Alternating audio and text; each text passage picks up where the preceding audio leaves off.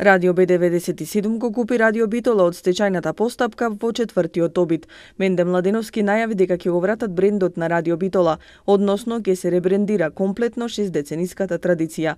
Ке поднесе барање до Советот за радиодифузија за враќање на брендот, но ако не се даде дозвола за тоа, ќе побараат од Советот на Обштина Битола да се користи името Радио Битола, дополнува Младеновски. Радио Б97 заедно со позната продукциска куќа од Македонија планираат да оформат професионална екипа од техничари, водители и музичари, а планираат да ги вратат и старите емисии ново ново руво. Младеновски рече дека од надлежните ке бара користење на просторот каде што се наоѓаше радиото. Вели дека Радио Б97 и продукциската куќа која застанува за овој проект наскоро ќе ја информираат битолската јавност за нивните идни планови.